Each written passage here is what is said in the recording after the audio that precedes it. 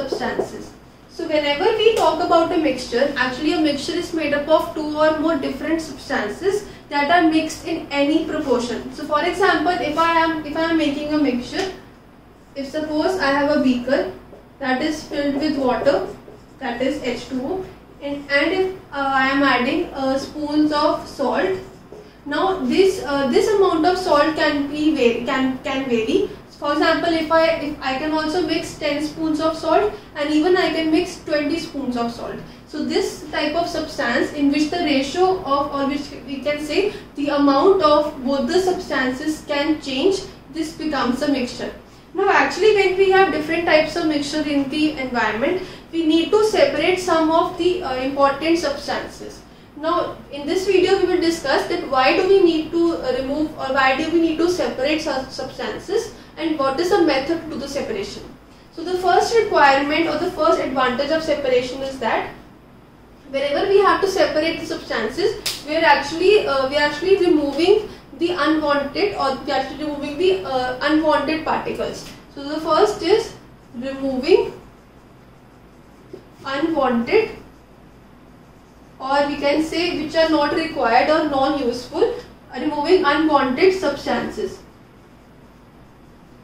So for example, if I have rice and on the rice particles there are some pebbles or there are some stones. Now for me rice is and uh, rice is very important. So I have to remove the unwanted substances that is the stones. So that is why I have to do the separation. So basically I have to remove the undesirable or the unwanted substances. So I will remove the stones and the rice which is required by me will be left behind. So I am doing the separation of two different substances. The next can be I want to absorb or I want to use the uh, use the useful substances. So to obtain useful substances. So for example, if I take the example of crude oil. So crude oil is the raw material or it is the uh, raw form of oil which is obtained from the ground and this crude oil contains various types of substances like it contains diesel, petrol, then kerosene. All these are useful for maybe automobile, that means for vehicles or it can be used for generation of electricity. So I need to separate all the diesel, all the petrol and all the kerosene. Now crude oil contains the diesel, petroleum or petrol, then it contains kerosene. Now all these have specific uses. That is why I need to separate all the useful components from the crude oil. This is also advantage of you doing the separation of various types of mixtures. In this case crude oil is the mixture and all these are the substances that are combined to make the crude oil. So I need to do the separation to get all these useful substances. The third can be by removing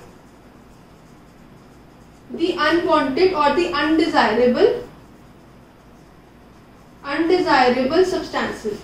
Suppose if I am uh, making tea, so I need to separate the tea from the tea leaves. So for this I use a strainer. So this case we can say that we are removing the unwanted particles that is the tea leaves because the use of the tea leaves have been done. Now I don't want that tea leaves so I have to remove them. That is done with the help of a strainer.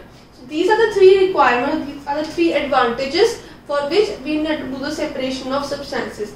Either we want the useful components or we want to remove the undesirable or the unwanted components. Now when we have done the separation, we now need to do how can, these were the advantages of separation. Now we will discuss how we need to do the separation. So the method of separation. Now in the case of method of separation, we have to find that property of which one component can obey, other, proper, other component should not obey. So we need to first look out to the property which one component follows and the other does not follow. For example, solubility. If I take the property of solubility, in this case if I take the example of salt and sand. Now you clearly know that salt dissolves in water and sand does not dissolve in water. So to separate sand and salt, we need to use the case of water we will take the property of solubility. So clearly when you want to separate two substances, you must take that property which follow, which is followed by one substance and which is not followed by the other substance. Like we have discussed in the case of uh, rice and pebbles. In this case, we have discussed the property of weight because, or we can say size, because pebbles are larger in size, rice is smaller in size. So we have to take that property which is obeyed by one substance and not obeyed by the other substance. So for example, if I want to separate solid, solid substances or I want to separate two solids from one another, so I can take the property of size like in the case of uh, rice and pebbles I can take the property of weight. I can even take the property of solubility. Like in the case of salt and sand, in which salt is dissolved in water and sand remains unsoluble or insoluble in water. The next can be removing solid and liquid. Suppose for example, I want to remove a solid from a liquid. Like I want to remove um, salt from water.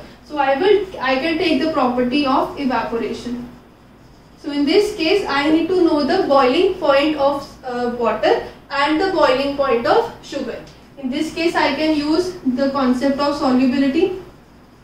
Like in the case of sand and water, that can be done simply by filtration. So solubility or I can say by the methods of boiling point.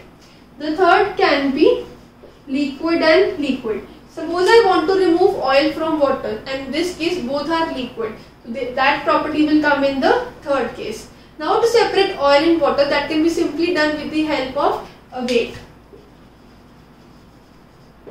Because as you know uh, water is heavy so water will come if I take a beaker and if I add oil and water into it so after some time if you keep that beaker for some time the water will come at the bottom and oil will come at the top because water is heavy so that will come at the bottom and oil is light so they will come at the upper portion. You can separate them with the help of even a spoon also.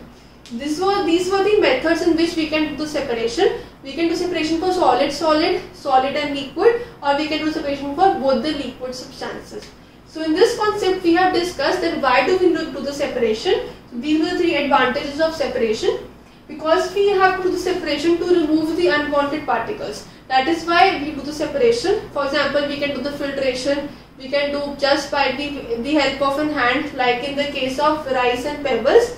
And then afterwards we have discussed the methods of separation. These can be any method like evaporation, can be filtration, all these methods are very important but you have to check which property should be done because one component must obey one property other component should not obey that same property like in the case of sand and salt I have uh, I have used the property of solubility because sand is not soluble in water whereas salt is soluble in water. So I can simply mix both these substances and then I can do evaporation or I can do even filtration. All these are discussed in separate videos the advantage of filtration, evaporation and all such methods. But now we have discussed the advantage and the method of separation. This was the concept on requirement for separation of substances.